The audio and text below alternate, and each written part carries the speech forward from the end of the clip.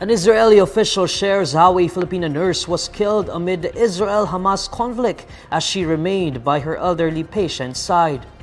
In a post on X, Deputy Mayor of Jerusalem, Fleur Hassan Nahoum, shares a photo of Filipina nurse Angeline.